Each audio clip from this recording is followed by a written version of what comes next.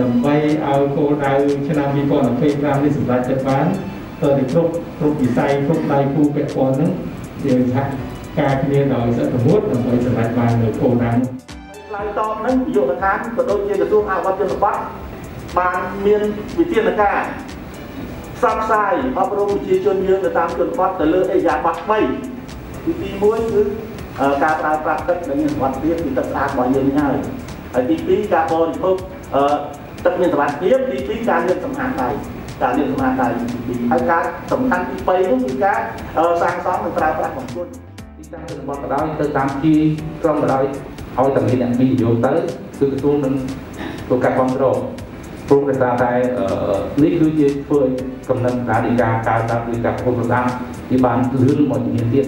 ហើយនឹងជាជាយាមដើម្បីសហការជាមួយក្រសួងអភិវឌ្ឍ ខ្ញុំចង់បញ្ជាក់ដែរនៅក្នុងវិស័យការងារសុខភាពនិងសុខភាពសំខាន់ណាស់ដែលយើងបានមកយល់អំពីមូលដ្ឋានគ្រឹះនេះដើម្បីយើងយកអាហ្នឹងទៅចែករំលែកបន្តទៀត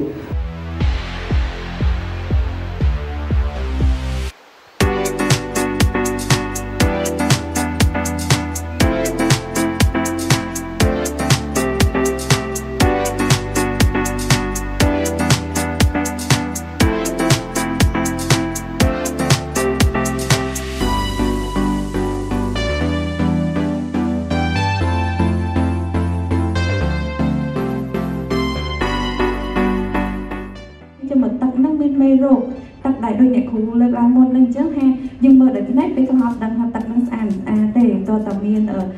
ខាងត្រួតពិនិត្យថាស្តង់ដារទឹកហ្នឹងអាចបរិភោគបានអត់អញ្ចឹងណាអញ្ចឹងទឹកហ្នឹងជាប្រភពនៃការចម្លងមេរោគលឿនមែនតើ